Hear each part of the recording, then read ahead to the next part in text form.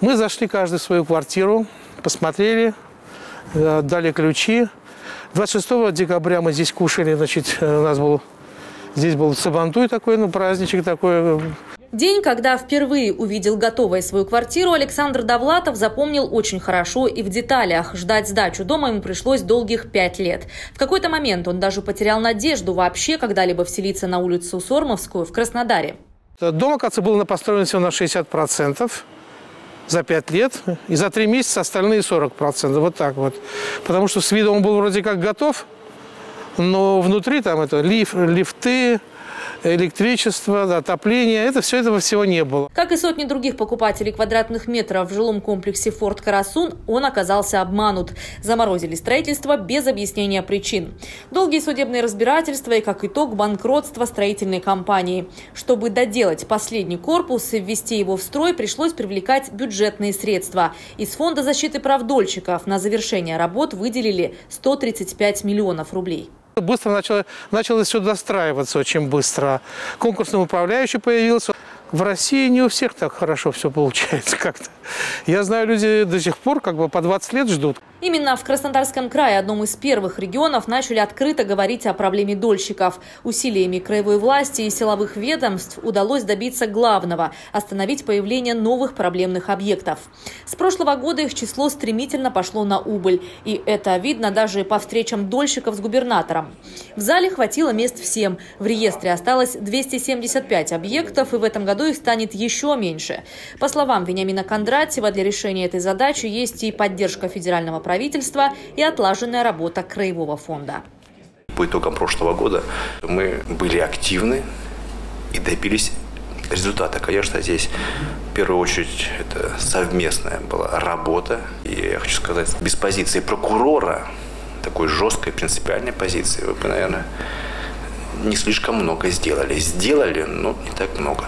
Задачу прошлого года, я считаю, мы ее выполнили. 49 домов сданы в эксплуатацию. Примерно около 10 тысяч, даже чуть больше, обманутых дольщиков получили свое жилье. В этом году мы ставим планку практически в два раза больше. Это 113 домов. И важно, чтобы мы тоже дошли до этого результата. Если мы уже просто более подготовлены к решению этой проблемы и понимание, самое главное понимание, как их достраивать, как решать проблему. Такие встречи – уникальная возможность для дольщиков напрямую обратиться и к местной власти, и к краевой, и к представителям правоохранительных органов. Сергей Табельский, прокурор края, выслушав доклады глав районов и вопросы дольщиков, посоветовал закрепить за каждым проблемным объектом конкретных должностных лиц, которые будут вести недострои. Где ответственны-то? Ставьте из заместителей, из начальников департамента, важно, не важно, этого направляя ответственно, чтобы он следил, чтобы кто-то, понятно, у вас дел много у главы, головы, и вы за всем не уследите. Но должен быть человек, который отслеживал. Вот почему на месяц идет на Сан Саныч здесь, да, в бумаге там месяц. Давайте за две недели, да. Скажем, нужно сделать две недели в ускоренном порядке. Значит, подготовить документы к банкротству. Проблемы у дольщиков есть не только в краевой столице. На собрании присутствовали и сочинцы, и жители Новороссийска, и Анапы. В курортных городах ситуация осложняется поиском компенсационной земли для инвесторов. Вам же принципиально э, важно, чтобы вы квартиры получили. То есть каким способом мы пойдем, это не столь важно.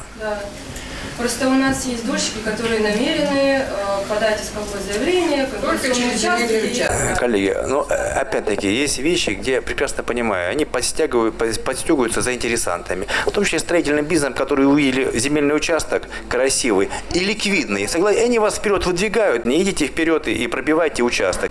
Но вы, вы будете умнее. Потом они за счет вас, у них маржа будет, знаете, какая, там, тысячу процентов, потому что они вам отдадут, там, сколько у вас человек, а дальше этот массив застроят строю, они, они озолотятся.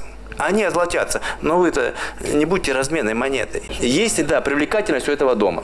У этого нет, потому что из 354, а квартир 290 проданы практически. Значит, месяц сроку, и по ним в том числе, дайте, либо, либо рассмотрите вопрос компенсационного участка, только покажите мне, что и что к чему, либо все-таки фонд, либо фонд федеральный. Мы зашли в фонд. Но еще раз подчеркиваю, тогда сроки. За месяц дайте мне понимание для меня и для них, каким путем мы пойдем. Вот я хочу в течение месяца, чтобы было принято решение. Планах на этот год завершить 113 домов. Это даст возможность передать ключи от 14 тысяч квартир их законным владельцам. И с привлечением инвесторов и на средства федерального и краевого фондов, и на собственные средства ранее заморозивших стройки компаний. С таким количеством инструментов главное не остановиться. Ваш алгоритм работает, структурные единицы а, ваши выполняют поставленную задачу. Это так. На данном этапе сейчас у нас а, есть положительный результат. Мы очень рады, безусловно. Я говорю, как есть. И также благодарна вот Сергею Владимировичу, он сохранил наше имущество на объекте. Головокружение от успехов быть не должно, ведь даже по уже достроенным объектам иногда возникают проблемы.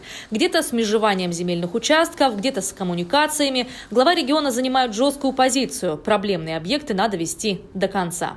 Я э, просто всех прошу не расслабляться, это касается коллег. Мне нужно глубинное погружение в конкретный алгоритм по конкретным объектам. То есть мне нужен временной фарватер. Я не говорю конкретно временной срок, фарватер хотя бы, диапазон. Там, три недели, месяц, максимум два месяца. Но понимание по каждому дому, что мы будем делать, должно быть у каждого. Тем более, тем более если непривлекательный дом, фонд, все. И есть теперь и этот выход – Тогда что мешает нам в понимании прозрачности и алгоритм, в алгоритме наших действий? Ничего не мешает. Надо принять решение, набрать в рот воздуха и сказать, вот здесь нет привлекательности, бесполезно, идем в фонд. Документы в фонд поданы, вот там нужна поддержка. Все, я ее максимально буду вам оказывать. Все понимают, что закрыть проблему обманутых дольщиков получится только совместными усилиями. Важно, чтобы сами пострадавшие граждане шли навстречу и относились с пониманием. Главное, что проблемы, которые не решались годами, с мертвой точки сдвинулись. Результат от совместного обсуждения есть. Теперь такие совещания по поручению губернатора будут проводиться ежемесячно, до тех пор, пока последний из 275 домов не будет сдан. Ольга Десятова, телекомпания ФКТ.